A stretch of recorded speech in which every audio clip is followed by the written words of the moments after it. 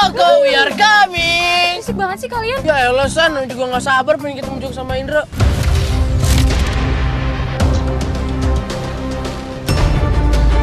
Kenapa Joko bisa hilang kayak ditelan bumi kayak gini? Jujur gue khawatir banget.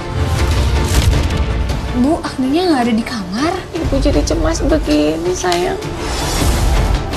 Ini kok bahasanya aneh gini ya? Kayak bukan Joko.